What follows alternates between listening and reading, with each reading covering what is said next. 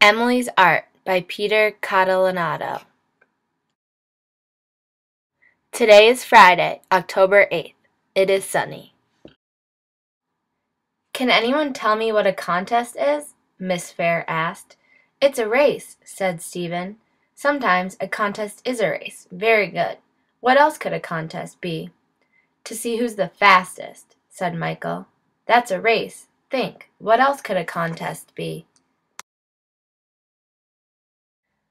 To see who is the best, said Sage. Miss Fair nodded. That's right. Next Friday, the school is having an art contest. We're all going to paint pictures to hang in the gym. Prize ribbons will be given to the best painting in each grade. How will we know which is the best? Emily asked. Whoever finishes first, yelled Stephen. No, said Miss Fair, it won't be a race. There will be a judge. A judge puts bad people in jail, said Jake. A judge decides things, explained Miss Fair. The judge will decide the winners. How? Emily asked. The judge will choose which she thinks is the best. I think chocolate is the best, Stephen said. Vanilla's better, said Jake. Chocolate. Vanilla. Boys, quiet. Please remember to raise your hand if you'd like to say something. Yes, Emily? Does the judge know which is better? Well, Emily. Miss Fair, Miss Fair, Jake waved his hand. If I lose the art contest, will the judge put me in jail? What? No, of course not. Losing an art contest does not make you a bad person. Yeah, said Michael, just a bad artist.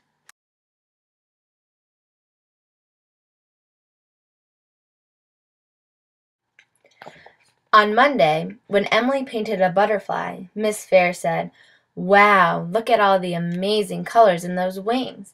Can you show me how to do that? asked Kelly. Mine's all muddy. Sure, said Emily. While Kelly painted a butterfly, Emily painted her family having breakfast. Why do you have four mothers? asked Stephen. There's only one mother, Emily explained. She's just very busy in the morning. On Tuesday, Emily painted Miss Fair.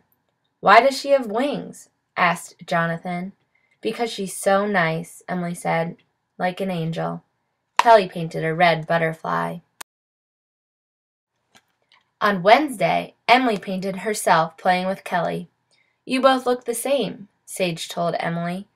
That's because she's my best friend. We're just like twins. Kelly painted a purple butterfly.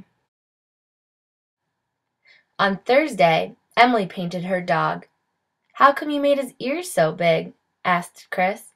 Because Thor hears everything, Emily said.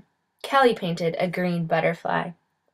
Thursday afternoon, Miss Fair asked each student to choose which of their paintings they wanted to enter in the art contest. Emily chose her painting of Thor. It was her new favorite. That night, Emily asked her mother which is better, chocolate or vanilla. It depends, said her mother. Some people like chocolate, some people like vanilla. But which one is the best? asked Emily. Whichever one you like, her mother replied. Oh, said Emily. Sleep well, love. But Emily didn't. She stared at the ceiling and tried to figure out which was better dancing or singing, winter or summer, peanut butter or jelly, dogs or cats, pink or purple, the sun or the moon, soccer or basketball, hugs or tickles. She listened to the clock in the living room bong eleven times.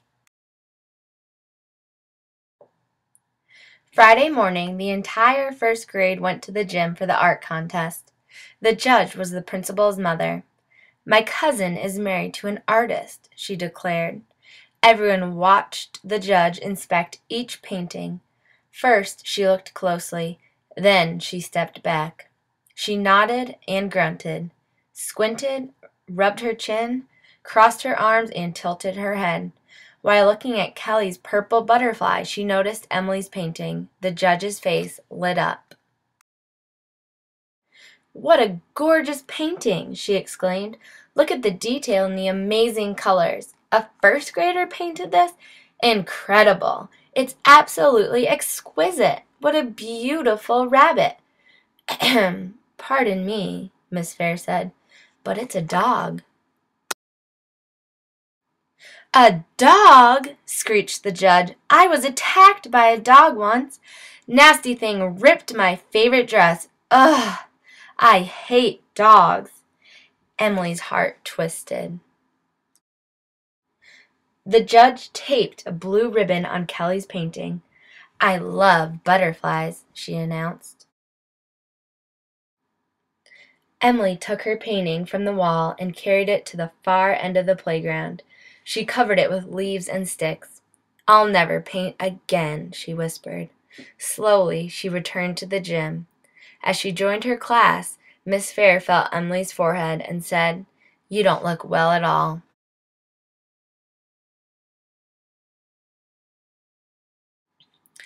When they passed the nurse's office, Miss Fair sent Emily in.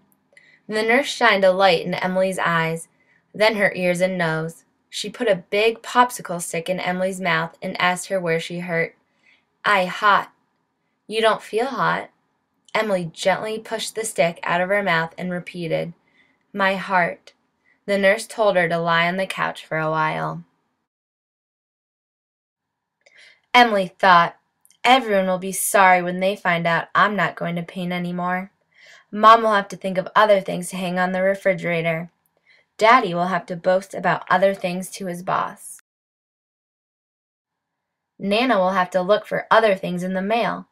Joshua will have to watch me do other things after school. Emily thought and thought until she fell asleep. She dreamed she was at a picnic and a giant hamburger was mad at her because she liked hot dogs better. When she woke up, Kelly was lying next to her.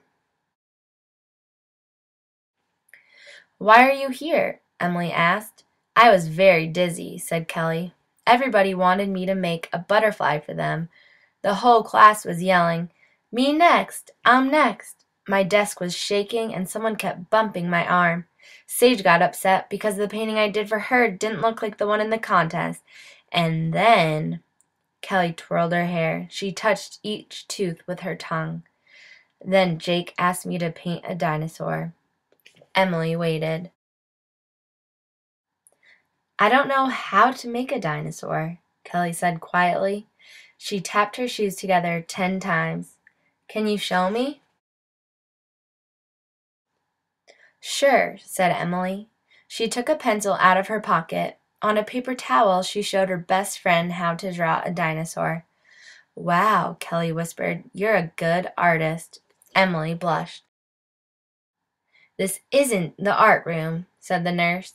You two look well enough to go back to class now. Hey, great dinosaur. Emily told Kelly she needed to get something from the playground.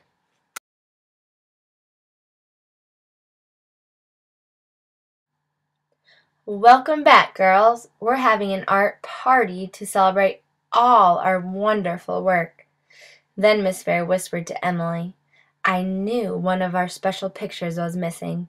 Now Sage and Jake can go to the cafeteria. What flavor do you want? Jake asked. Chocolate or vanilla? Strawberry, said Emily. Me too, said Kelly.